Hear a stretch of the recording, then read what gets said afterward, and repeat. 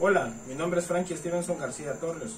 Hoy hablaremos sobre insectos, especialmente artrópodos, en base a la clase de zoología. Comencemos con el video. Bueno, como primer insecto vamos a hablar del Hymenoptera. Eh, básicamente es este que tenemos aquí. Su reino es Animalia, su filo es artrópoda, eh, como lo mencioné en el video. Su filo es hexapoda, su clase es insecto, es un, es un insecto.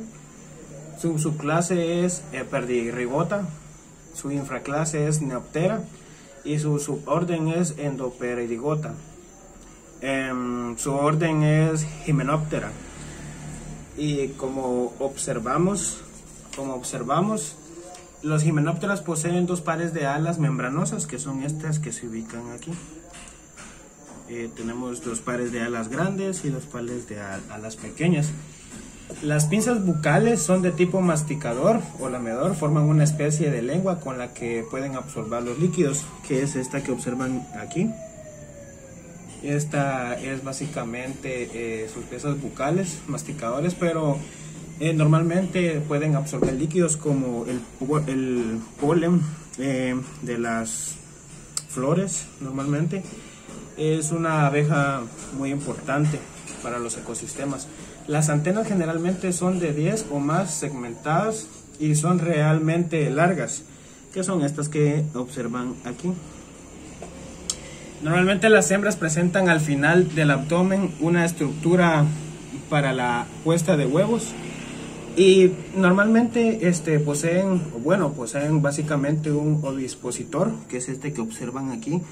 Aquí cuentan con un aguijón, es este que está ubicado aquí cuentan con un aguijón.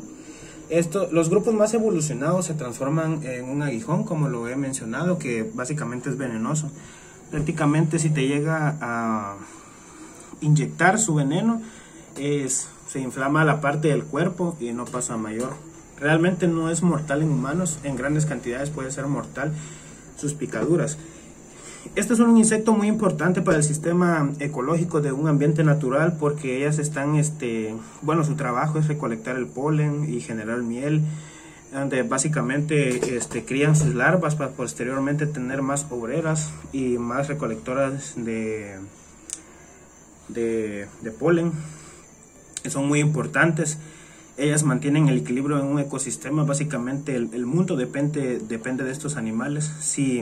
En algún llegado caso eh, no estuvieran las abejas, prácticamente los bosques perecerían porque no se mantendría un equilibrio ecosistémico o del ecosistema.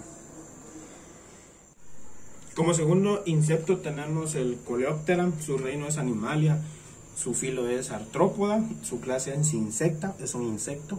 Su clase es Pterigota, eh, inferclase es Neoptera, su superorden es Endoterigota y el orden es Coleoptera. Comúnmente este, son conocidos como escarabajos, su orden de insectos con unas 375 mil especies descritas, básicamente como observan son muy característicos por sus colores, eh, sus antenas, eh, su caparazón que protege las alas inferiores los colópteros tienen las piezas bucales de tipo masticador, que son estas que observan aquí. La el primer par de alas transformadas este, en rígidas armaduras llamadas elitros, que protegen la parte posterior del tórax, que son estas que están aquí. El tórax básicamente lo encontramos en esta parte de aquí. Estas eh, elitros protegen las alas que se encuentran debajo. Este es como su sistema de locomoción, su sistema de locomoción, cómo ellos se mueven de un lugar a otro. Básicamente con esto eh, se transportan. Los colópteros son insectos holometábolos o endopterigotos, ya que sufren una metamorfosis completa con estados de larva, pupa y mago. Poseen un par de ojos compuestos que solo faltan en algunas especies. Em, endógeas y carnícolas en general faltan, tienen falta de ocelos. Este básicamente es el Coleoptera. Como tercer insecto tenemos este, el Salticidae.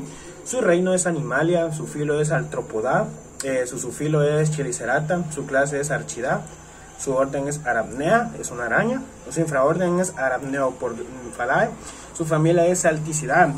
Estas arañas son muy características porque tienen la capacidad de saltar muy alto.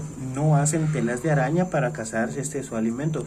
Normalmente este, tienen una gran capacidad para eh, acudir a sus presas y tomarlas mediante sus eh, patas como observamos aquí. Tiene un color muy característico. La visión de las arañas saltarinas, que básicamente son estas, es una de las mejores entre los artrópodos y la usan para moverse eh, a la caza y el cortejo, aunque normalmente se mueven de manera discreta y bastante lenta, básicamente para tomar sus presas. Sus pulmones en el libro y su sistema traqueal está bien desarrollado y usan ambos sistemas en respiración binonal. Todas las especies tienen cuatro pares de ojos, siendo un par medio anterior particularmente grande. Su cuerpo parece cubierto de pelos, a la vez son escamosos y a veces son irisceentes, como observamos aquí. Eh, su cuerpo básicamente está cubierto de, ese como pelo. Y todas las especies tienen cuatro pares de ojos, siendo el par de en medio anterior particularmente grande, que es este que observamos en esta parte de aquí. Eh, creo que no se observa mucho, pero tienen básicamente un ojo que es grande y es muy característico de ellas. Eh, esos las ayudan mucho para la caza de sus presas, es una especie muy, muy interesante. Eh, su cuerpo parece cubierto de pelos, como lo mencioné anteriormente. Esto significa que esos pelos ayudan como a mantener y manipular esas presas para posteriormente alimentarse. Eh, cuatro de sus ocho ojos se orientan frontalmente, que son estos que están aquí, y le dan una visión perfecta y muy amplia, pero frontalmente. Y sus colores son muy característicos, entre sus colores es un café blanco con rojo y estas son las patas que se usarían como su tipo de locomoción para moverse y para sus saltos grandes.